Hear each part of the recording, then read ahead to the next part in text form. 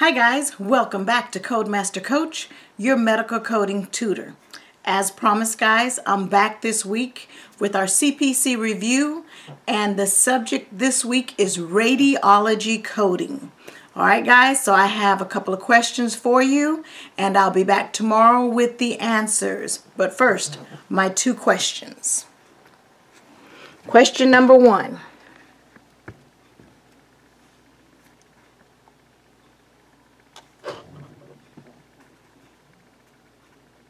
How do you code the radiological test called KUB? KUB. I've always been told that stands for kidney, ureters, and bladder. And question number two.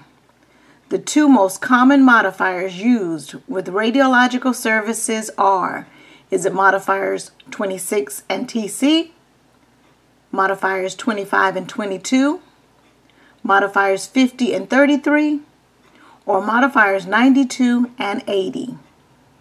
Your two questions for today. How do you code the radiological test called KUB?